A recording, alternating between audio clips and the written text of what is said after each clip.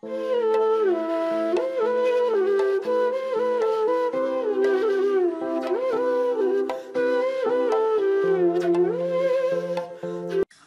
good afternoon to one and all. Seeking the blessings of His Holiness Jagadguru Mahaswamiji, we are going to start the day two of the leadership conclave organized by Internal Quality Assurance Cell, JSS Academy of Higher Education and Research, Mysuru.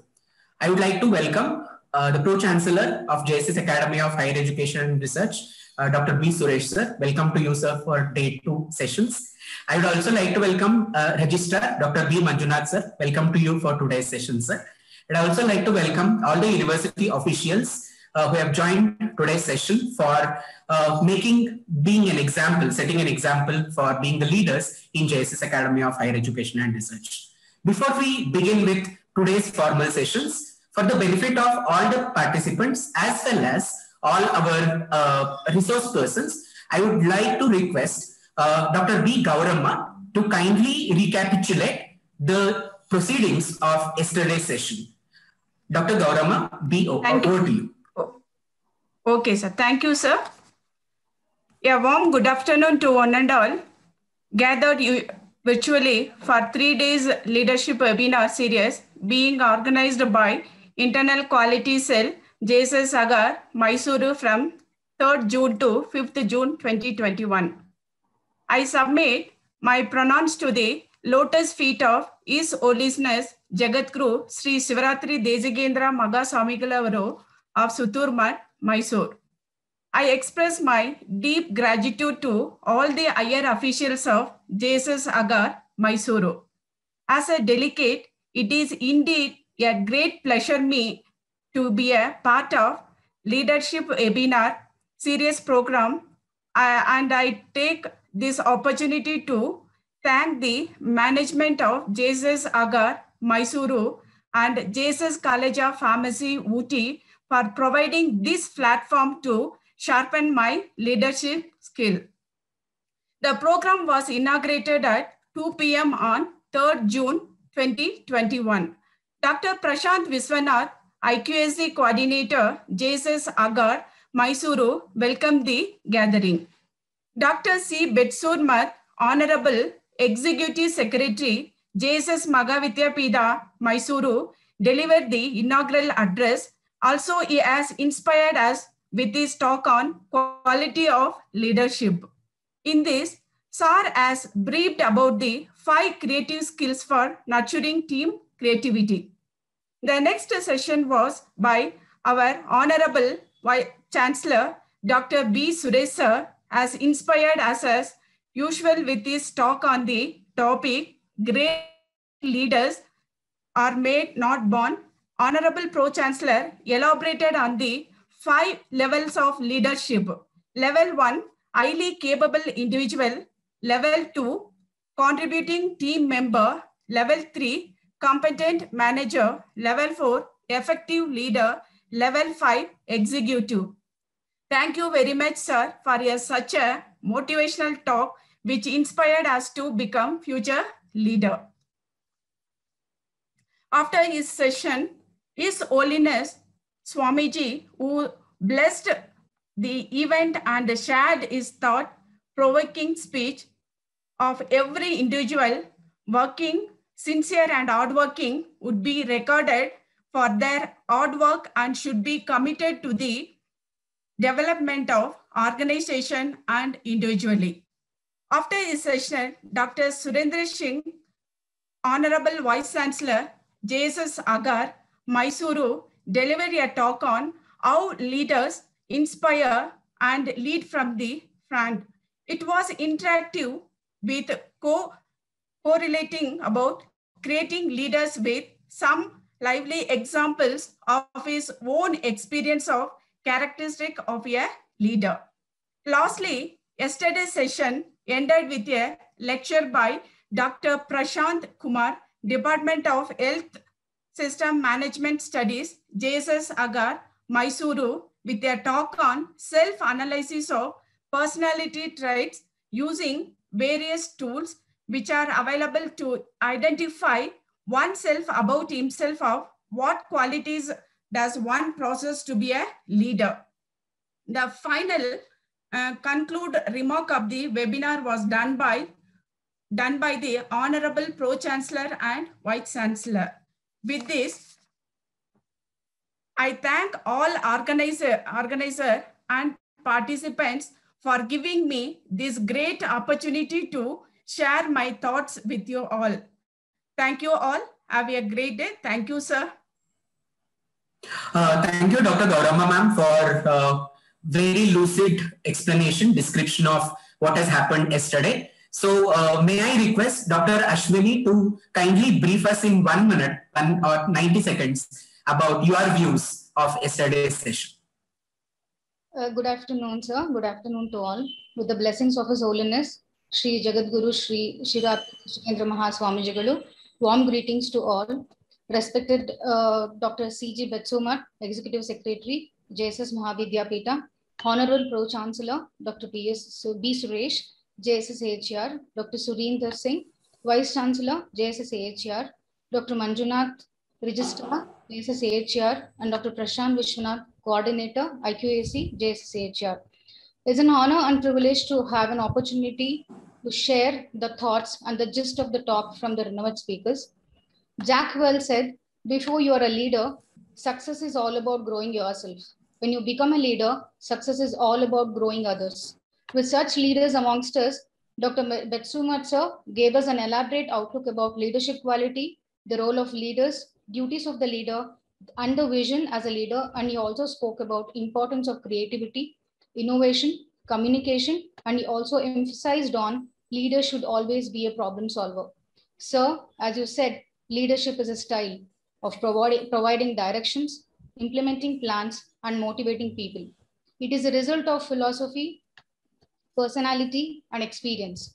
Sir, thank you for making us understand that leadership is a vision and responsibility, not a power. Thanks, sir, for such a wonderful talk. And in continuation of his talk, our beloved Pro Chancellor spoke about great leaders are made, not born. The five different levels of leadership quality was well described, which made us all introspect ourselves and see where we stand and which area requires improvement. And the story about the Himalaya Swami, who went up to the, you know, have the Jiva Samadhi was interesting, which made us realize, yes, when we grow as a leader, we should have an ability to listen, respect, and understand the perception of others and consider their point as well. Leaders don't create followers, they create more leaders. Sir, we could see our own people becoming leaders under your able guidance. And the bird which comes to your window and the keen observation you have tells us all the quality as a leader one should have, also the quality of reciprocating to everyone's need. Thank you, sir, for making us realize the quality of good leader and emphasizing on great leaders are made, not born. Thank you, sir, once again. The next talk was on living example of leadership leaders inspire and lead from the front was a beautiful talk from our Vice Chancellor, Dr. Surinder Singh. We had a broad view about the adaptivity, authenticity, and the charismatic leadership and the roles of leader. He articulated frontliners beautifully. The good quality of good leaders should be forward looking, make a right choice, have a good observation, non biased, have a timely action and responsibility, large perspectives, and always replace I with we and never give up attitude and empathy. An example he lived with his real life stories. Sir, you as a leader, your empathy towards the people was evident. It was an inspiring talk. I, I must say, sir, also believe in teamwork. Together, everyone achieve more.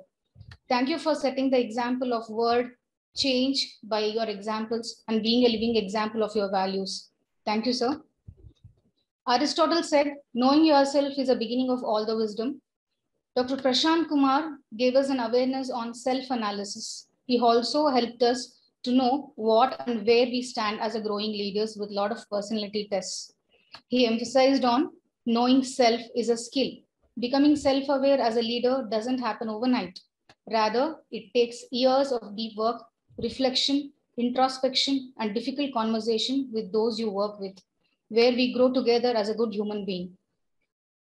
Investing in your own personal growth will encourage a more inclusive, and a successful culture. Thank you for making us aware that real introspection is to know both our strength and weakness, not just our weaknesses. Thank you. I personally believe leaders should be approachable, accommodative, should identify and promote people, and good leaders are always problem solvers. Leadership is, leadership is an action, not a position.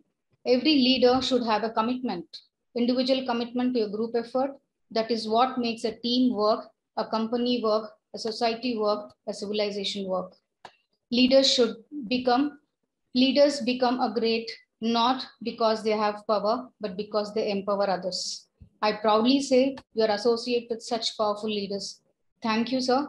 Thanks for such a wonderful session of yesterday.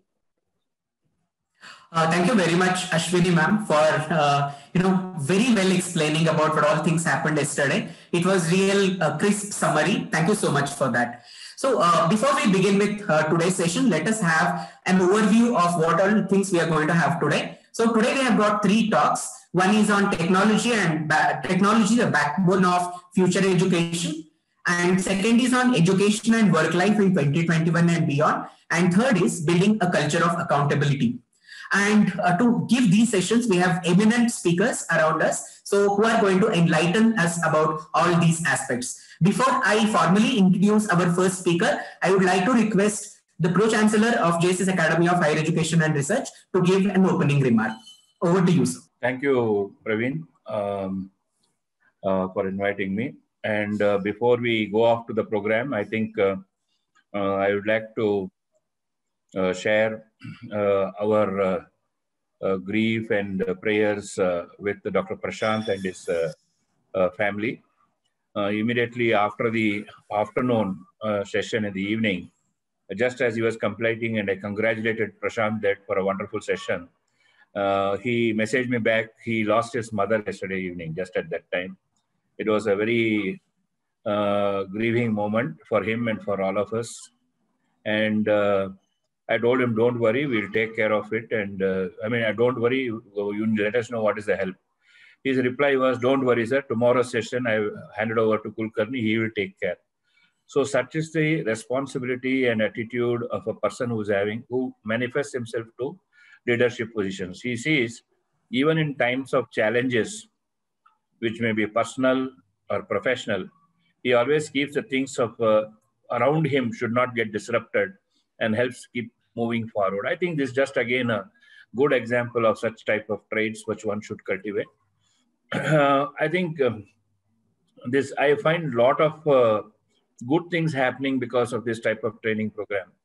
Now, I got at least a few messages yesterday evening after the session that uh, uh, everybody is trying to find out in which level he is or what quality he has got, uh, where he is. But uh, the question is, no, everybody is interested to become a leader. They want to move forward. They are motivated that they should do something better. They should do move further. I think this is something is really, really very good for uh, yourself and for the organization. Uh, we may reach different levels. It doesn't matter. Everybody plays a uh, important role. Like yesterday, I said, if Rahul Dravid was not there or VVS Laxman was not there, then their captains would have not been able to succeed what they contributed. So the captain succeeded using their position. So everybody is contributing. Leadership positions come and go in different ways and different uh, manners. So that's going to be there. We are going to hear today again to three important leaders. I'm sure uh, Praveen is going to introduce you uh, to all of them. But uh, particularly, I would like to mention here uh, Dr. Arun Hampapur, who I connected just online on LinkedIn. I came to know that he is a SJC alumni, and I wanted to reach out to find who are all our alumni from uh, SJC, and I was uh, screening, and he was there in the thing. I connected with him, and then we started connecting with each other. It just happened and uh, he is from technology background. I am from uh, medical or health sciences background whatever you can tell. But we connected. Then we started talking on so many common things and he's back here in india from he was in us uh, for a long time with ibm and other uh, health uh, technology organizations back here. And we still are connected. So i think this is something very very important. One of the qualities you should learn is don't think, oh, this particular field is not belonging to me. Why should I do? uh, connected with that. You don't know when what you will need. Always these connections uh, matter a lot today, and not today, even even earlier. It is good relationship connections which you maintain helps you to move on with your uh, life and career. And of course, uh, technology is going to be spoken about by uh, Dr. Arun Hampapur. And uh, work-life balance. Yesterday there was one of the questions in the session. What about work-life and family life? How are you going to balance that?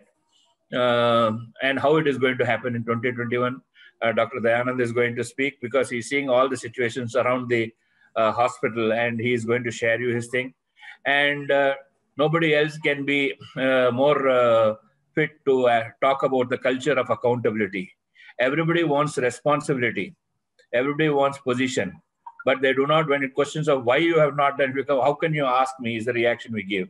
So I think Dr. Ravi has been one person who's personified. I know him for now so many years uh, uh, here after coming to university and before uh, that also I know him. He is one person who is always responsible and accountable. Whatever he will do, he will try and come back and tell you why he has done and how he is doing it and what he expects from us. That's a very good quality, and he's going to share this. I think today we have a very good session to build some of the qualities in you. Yesterday we talked what makes a leader.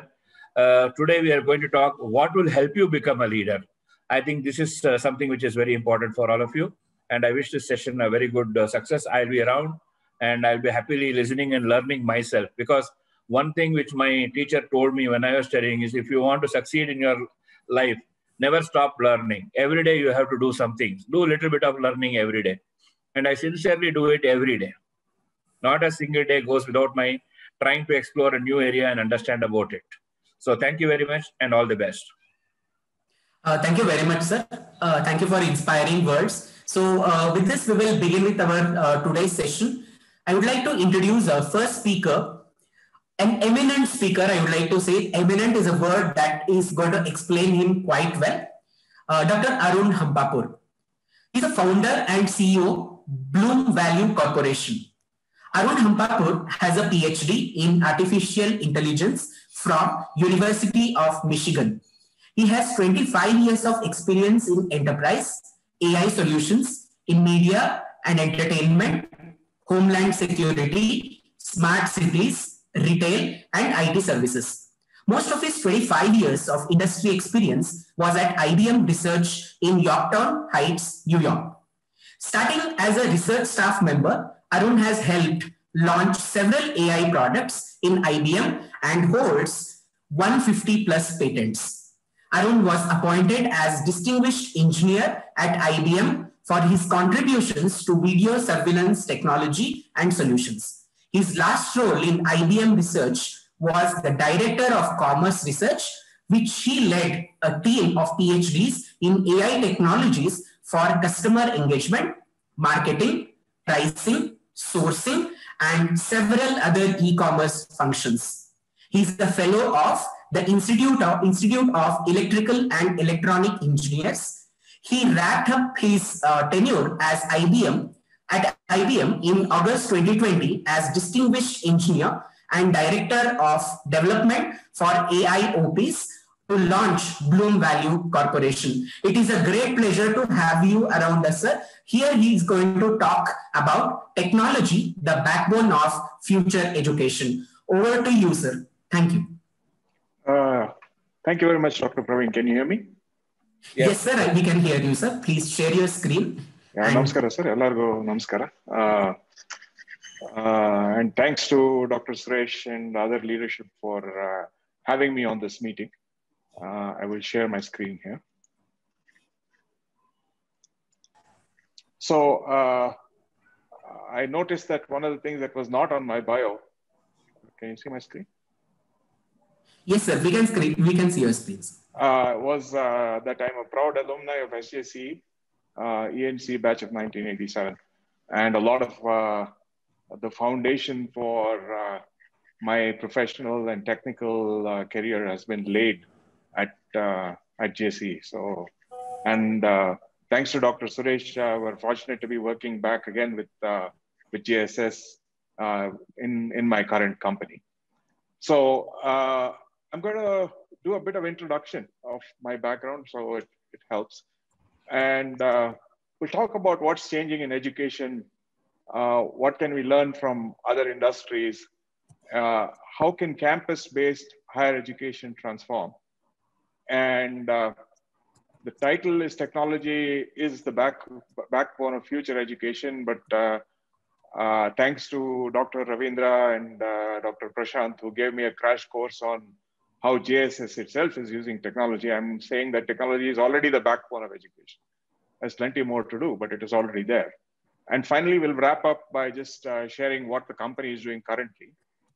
Um, so when Dr. Prashant reached out to me, uh, I said, look, uh, my company works on hospitals, hospital optimization, things like that. Uh, what do you want me to talk about? He said, talk about education. Uh, I said, can I talk about hospitals and hospital optimization? He said, no, no, no, this is about education. You have to talk about education. So I'm not an expert on education technologies, right? I have not studied it before. So I kind of took it up as a challenge to see what is it that I can learn. So as uh, Dr. Suresh was saying, uh, it's an opportunity to learn. Uh, so I put something together if uh, all of you experts in education find something off, uh, please pardon me. While I have not worked in education, I worked in several other industries, uh, security, city management, travel transport, retail, and now finally with hospitals. And in all of these industries, uh, I've had the pleasure of working with great teams, which is both from the customer side and from my technical teams. And we've all, I've been involved in digital transformation projects using AI, big data, and other technologies. So what I thought I would do is look at what is changing in education, right? Ask that question. And uh, today, if you know what question to ask, you can find the answer. Uh, Google will give you the perfect answer. So I have uh, a point of view. And uh, more than a presentation, it's somewhat of a discussion. So if uh, uh, any of you have a point of view, please interrupt me, stop me, ask questions. Let's uh, let's find out where education is going right? So when you say what's changing in education uh, you can't but help pick up on Byju's right? So company founded in 2011 uh, now has uh, a 300 million dollar revenue. And uh, so that that tells you everything that graph right? you see the revenue, it's, it's growing almost vertically up. It's, it's, it sound, looks like the pandemic curve in terms of how quickly the revenue is shooting.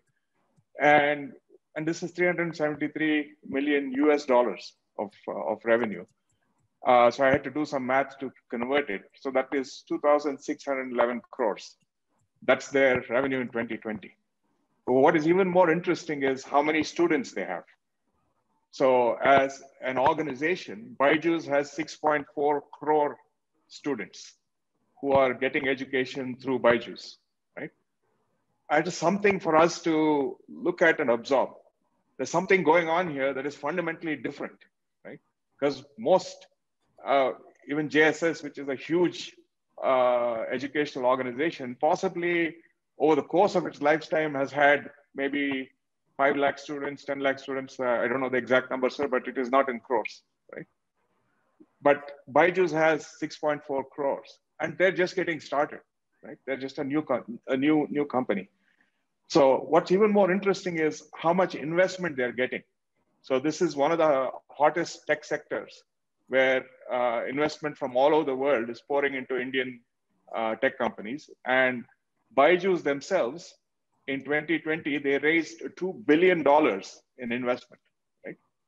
So again, I had to go do some multiplication and math. $2 billion is 14,000 crore rupees, right? That's how much investment they're getting to drive online education. So whether we like it or not, higher education is going to get impacted by Byju's and all of their, all of this online ecosystem one way or the other. The question really is how? How is it, how is it going to impact online uh, campus-based higher education, which is where we've all grown up, right? Just to understand what we're talking about here, I wanted to see how to compare this 14,000 crores. So 14,000 crores is one fourth of the Karnataka state budget. So this year, Karnataka state budget is 58,000 crores. So Byju's one single company has raised 14,000 crores of investment money, right? In addition to the revenues that they're getting.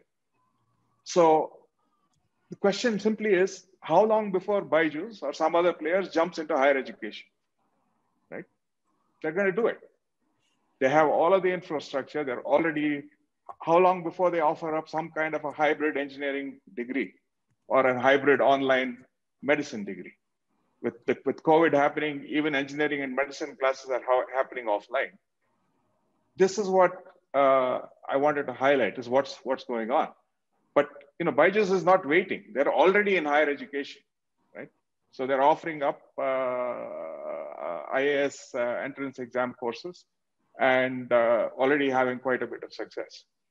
So this is a trend that we who are in higher education from a campus perspective, we can't ignore this, right? Because it's just, it's in the same field. It is today K through 12 education, but there's no reason why it can't go to engineering or medicine or pharmacy or any other discipline. Right? Uh, so this is something to keep in mind. But it's not just uh, Byju's that is changing. The Stanford University uh, is offering uh, like hundreds of uh, medical and CME courses online. Right? And uh, this was before the pandemic. Now with the pandemic, uh, so for example, this uh, bioinformatics degree, you can do 80% of it online today. So it's not long before full engineering and medical medicine courses would become some kind of hybrid online, right? 80% being online and 20% being in a campus, right? So this is uh, this is the change that's coming, and uh, it's it's such a typically when uh, online disrupts any sector, it has a tremendous impact on that sector because of the scale of online companies. Uh, we can safely say that there is no campus education that has 6.4 crore students as compared to Byju's, right? We can safely say that. So this is something for us to think about. So what I said we could do is say, let's look at another industry where this kind of a disruption has happened and how that industry has evolved. So with that, I'm switching to retail, which is where we know online has come in and disrupted and changed retail in dramatic ways. Uh, but stores haven't gone away, right? Even though there are stores, uh, we don't know what, what the pandemic is going to do to all these things. We'll figure that out. But uh, this is a 2019 uh, number. So the sales growth in 2019, 2020, uh, for regular brick and mortar physical stores was 3.4%. And for e-commerce, it was 15%. There's a 5x difference in growth year to year between e-commerce and uh, uh, physical store-based commerce, right? So the, uh, and I, I, I missed uh, doing this chart here. Yet the survey here says 70% of the people prefer to shop in the store. So when you go ask people, what do you want to do? They still say, I want to shop in the store. But the cost economics and the cost dynamics and the ease of shopping simply changes. Yeah, we want to go to a store, but there's many reasons. If you can just click online and buy it, you might as well do that. So while education is not exactly buying and retail, it has a very different dynamic. It still is something to, to think about. So what I've, uh, what needless to say, the e-commerce disruption has been going on for 20 years now. Uh, in India, it's a little more recent. In the US, it's much older. But the pandemic has basically accelerated that, uh, that trend. So between uh, Q2 of 2020, 2019 and 2020, online global sales almost doubled, right, because of the pandemic. Uh, and while that doubling happened, retail went the other way. Right? So these kinds of trends are going to have a significant impact on retail. So what I did is I picked a case study uh, to look at how were brick and mortar or physical retailers, this is a US case study, dealing with this online growth. Right? So even today in, in the US and of course in India, it's still an early trend e-commerce, but even in the US, Uh, regular stores haven't gone away. They're still there, right? They're just not growing. Uh, online keeps growing at a very, very high pace, but regular stores continue to be, be in place. So question is, what will happen? Five more years from now, will stores go away, right? Will you not have physical stores? Uh, will you have physical stores only for certain categories? What happens? So what you also notice is that the idea of online versus physical, it's not correct in the sense that it's never a clean separation. So Amazon has actually set up a number of stores in the US, and a lot of brick and mortar retailers have set up websites and are selling their same products online. But what you find is that's not good enough when a physical store just sets up a website and puts their same products online. That isn't good enough to compete with uh, the Amazons of the world. The reason being, uh, the cost structures that go behind a physical store is vastly different from what goes behind a completely pure play online retailer, right? And that makes a big, big difference. And also the, their sourcing strategies, where they get their material from, all kinds of stuff are different between online and physical store. So just setting up an online store doesn't make, make you competitive in the e-commerce business. And uh, the best case of recovery in this case, in, in, in uh, retail, is uh, the company called Best Buy. Right? It's a it's a US uh, electronics retailer, and uh, Best Buy. Uh, this is their, their, website, so you can go to bestbuy.com, and they are basically a consumer electronics uh, store, uh, and they have an online uh, presence, and they sell all kinds of stuff. Now, they have 997 physical locations in the US, right? So these are the stores. They, what you see here is a picture of the Best Buy store and what's inside it. This is the transformed store. And uh, basically, around 2010, Best Buy was almost killed by Amazon? So what you're seeing here is the year-to-year uh, growth of their revenue. Uh, and you know, you'll see that 20, 20 2006, uh, they've been growing uh, reasonably well. And by around 2010, the online trend kicks in and they they start losing business, right? They start shrinking as a business. And pretty much uh, from 2010, almost all the way to 2018, eight years, uh, that company is completely uh, in, in a struggle to figure out how to transform its business to this new world where online is going, going to stay, right? And they did something very interesting. And finally, now they've turned around. Uh, so if you see, look at 2020, 2021, uh, they are growing, right? And that little blip there is the kicking in of the pandemic right? when, when, when they shrunk a little bit. And there's a very nice uh, article in Forbes around the Best Buy turnaround. And uh, it's considered a very inspiring uh, and uh, example story of how physical versus online come together and what is the change. So the question is, what did Best Buy do in order to get to this uh, growth again after struggling with the online competition, right? So uh, they did five things, right? So they brought in outside leadership, right? So they actually brought in a hotel expert to run a retail store. so what happens often is we, when we're grown up in a certain industry, we view things in a certain way. So the first thing they did is they brought in an outside person to just look at their business from a different perspective. Um, number two is very important. A lot of the transformative ideas are actually sitting right now within this call of how higher education needs to be transformed. That uh, is with the employees of JSS because they are on the ground. They've been doing this for a while, so they know. Just they know what to do. right? So, but we need to figure out how to tap into that expertise. So they found a way of enabling employees to come up with ideas and contribute and using the employee skills uh, to kind of go through this uh, transformation.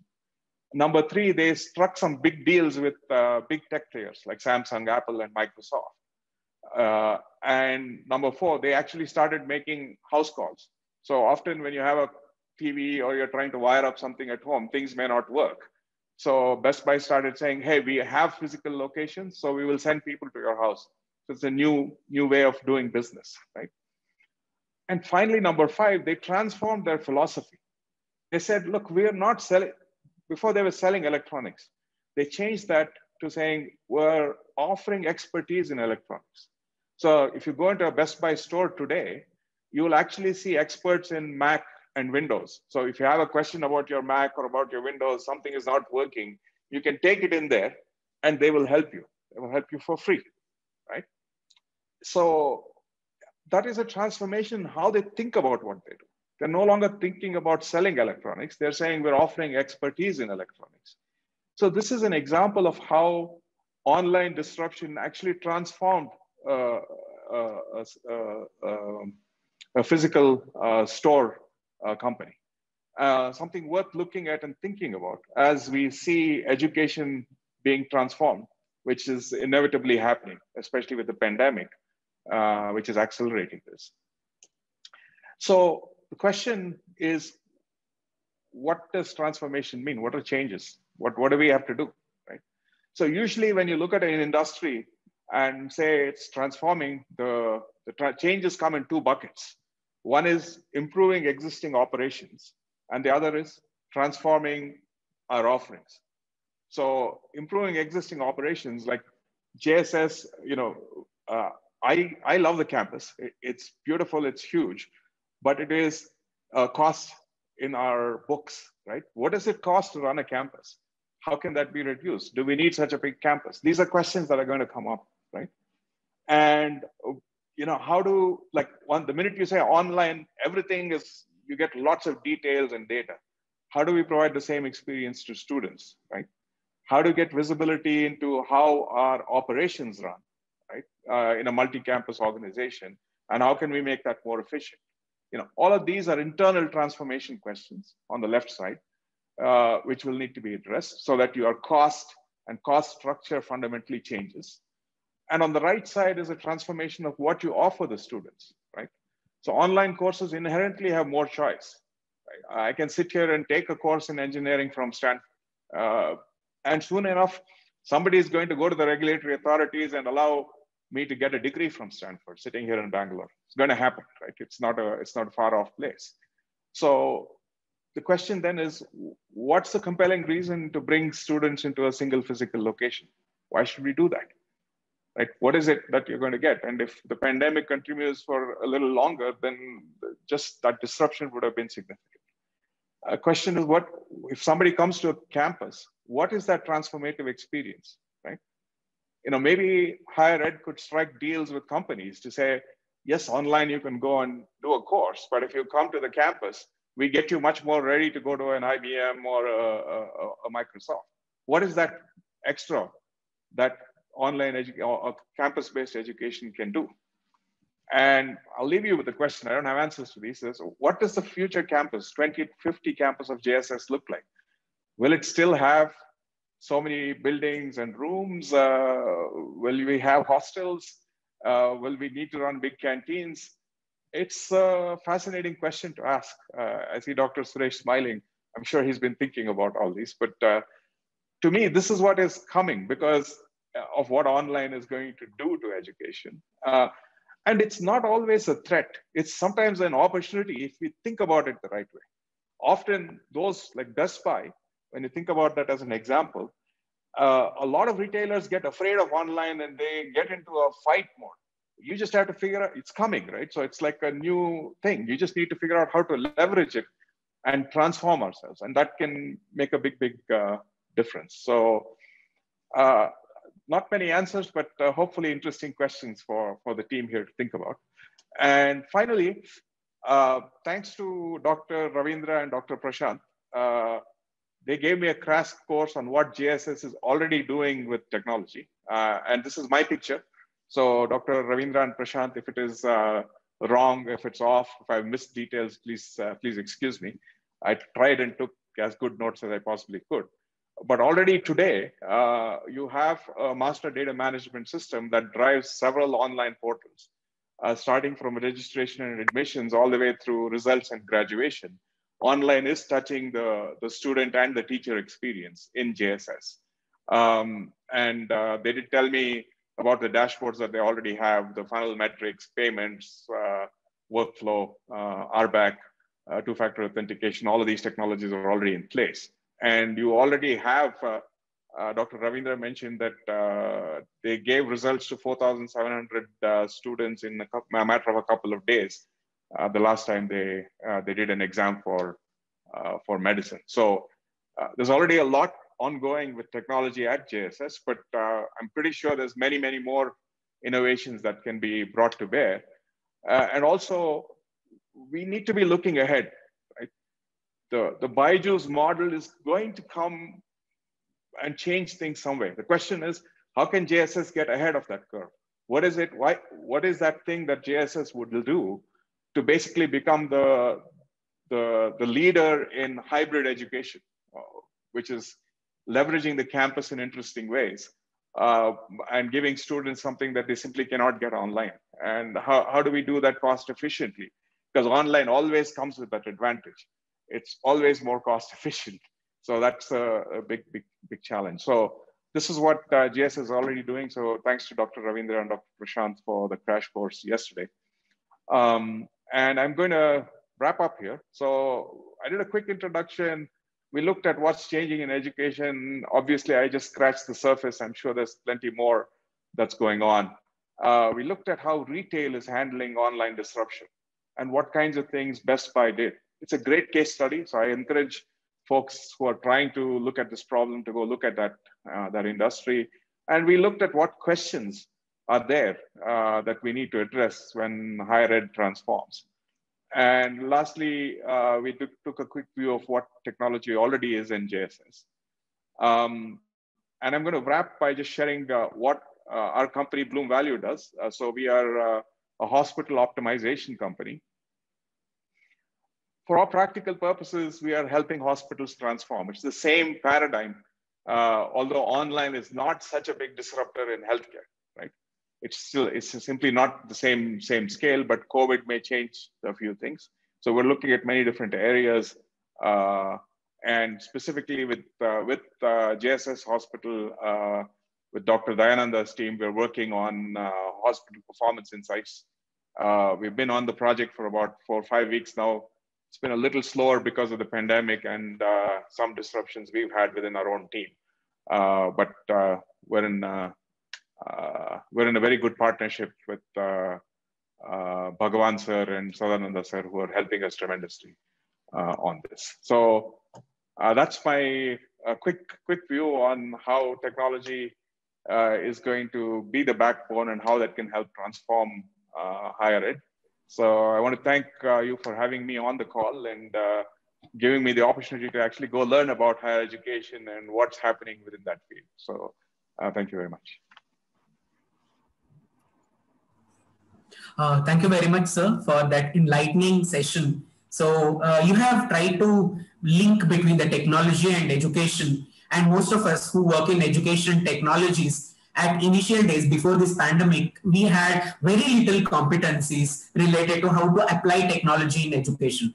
And as a part of a boon from this pandemic is we are getting accustomed with the technology and the technology is helping us. A new competency that most of us as the uh, teachers of health profession education, uh, we have learned in this pandemic is how to adapt ourselves to the technologies. And you have used very uh, pertinent life, uh, you know, real life examples, starting from which is very commonly used from BYJU'S and you have ended up with how JSS is actually performing with uh, the technology as a part of its routine activities, starting from leave management till completely conducting the exams online and giving the results on a very fast track basis. Uh, thank you very much, sir. And uh, it was a great uh, pleasure listening to you. We have a couple of uh, questions uh, from our participants. Before we go to the questions, I think if Pro Chancellor sir wants to add anything, I request sir to add.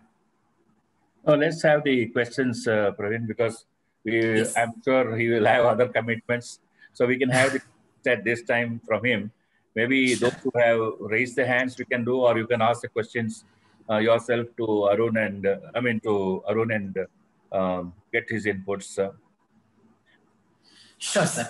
Uh, so there are, I, I, can see two questions on the board. One is in future, teaching and learning is going to be a, going to be social with the introduction of cloud technology.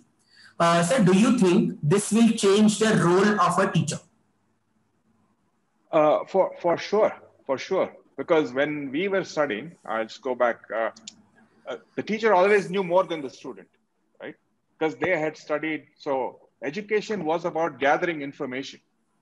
That's that's how we studied. You know, you had to go read and learn formulas, and and that's storing knowledge was what education was about. Uh, that's no longer going to be the case because nobody is ever going to learn. I mean, you need to learn the principles. You need to learn how to apply things. Uh, so the role of a teacher is going to be much more of a coach uh, than a teacher. So in you know when you look at a cricket team, to use Dr. Suresh's example, the player already knows how to play cricket, right? So you, so in that sense, it's going to become something about more than just telling somebody you have to hold the bat this way and you need to hold the ball this way. It's a it's a much more of an interactive and an engaged thing. So it's going. My suspicion is it's going to be way more project based, uh, where students are learning online, you know, and coming in with the knowledge, and uh, the teacher is actually helping them apply it in interesting ways. So it's, it's my my two cents. Because today I didn't know anything about higher education when I started preparing for this talk. And I'm able to deliver to, hopefully credibly to a bunch of higher expert, higher education experts, a point of view. How's that possible? it's possible because information is out there. If you know what question to ask, you'll find the answer, right? So, but how do you encourage kids to ask the right question and be inquisitive? Uh, that's a different role. It's not how traditionally teachers have been, at least uh, when I went to uh, when I when I was going to college, if you asked a question, you would be considered disrespectful. you know, asking questions was not a good thing. I mean, things have changed possibly, but. Uh, yeah, thank you very much, sir. Uh, uh, we have one more question. I think it's the last question. Uh, sir, uh, education and healthcare, they are two different sectors. So education is a kind of a service, you know, industry and health is a service sector and how technology will you know uh, merge both of them how do you compare both of them so actually uh, education and healthcare are much more similar uh, when you compare them to something like manufacturing they both fall into the service sector and if you look at both the fields they're anchored around the expert right if you look at a hospital there's a bunch of doctors and qualified lab techs and nurses they, that they become the core of it uh, whereas in education, it's the same thing. It's the, the teachers and the expert. In medicine, it's got a lot more equipment and process and procedure involved. In education, it's a bit lesser. But what I'm saying is, in education, it has to be more, meaning uh, projects and development uh, and uh, live labs have to be way more in education. So education is going to become more similar to medicine uh, and healthcare uh, across the fields because you'll need people actually playing with stuff so, and, and, and mixing chemicals to make new pharmacology things uh, hands on, right? So you will see that transformation where those two come closer together. Yeah, uh, thank you very much, sir. I think uh, you answer you have answered most of our questions. I think remaining we will take up as a part of our question answer sessions. So uh, I would like to place and yes, sir.